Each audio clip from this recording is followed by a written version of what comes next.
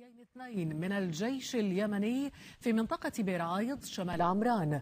وأضاف مراسلنا أن الجيش رد باعتقال ثمانية من الحوثيين. البوابة الغربية لمحافظة عمران. وقد كثف الجيش وقوات الأمن حضورهما فيها. وأعاد انتشارهما في بعض المواقع. استعداد قتالي يبدو عاليا مع تموضع بعض الآليات العسكرية على هذا النحو. فضلا عن التزود بأسلحة تتجاوز الحالات الاعتيادية.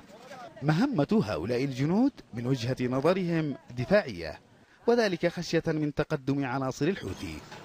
لكنهم أيضا ينتظرون أوامر القيادة العسكرية للتحرك وفق تغيرات الموقف. نحن نطمن جميع أبناء محافظة عمران بأنها إن شاء الله أننا الجيش والأمن مستعدون للدفاع والقتال حتى آخر قطرة من دمائنا.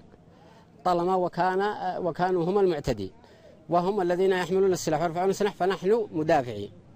غير بعيد عن الحاجز العسكري تتمركز عناصر جماعة الحوثي قرب منطقة الماخذ على شكل اعتصام يطالب بتغيير محافظ عمران وقائد لواء عسكري مرابط في المنطقة يتخذ الحوثيون احتياطاتهم العسكرية أيضا ويبدو أنهم مستعدون للهجوم والدفاع.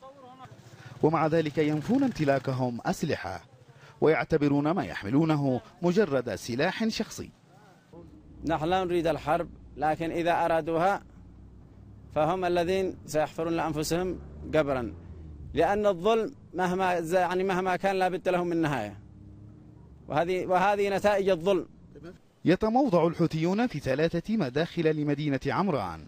أما الجيش الذي شيع عددا من قتلاه في المحافظة فقد واكب تحركات الحوثيين وأعاد توزيع قواته بينما انتشرت عناصر قبلية مسلحة في بعض القرى.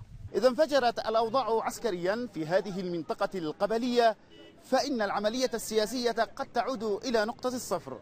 لكن السكان هنا يعولون على إمكانية حضور الحكمة اليمانية قبل أن تصيبهم. ويلات الحرب. حمد البكاري الجزيرة من المدخل الغربي لعمران. والبادية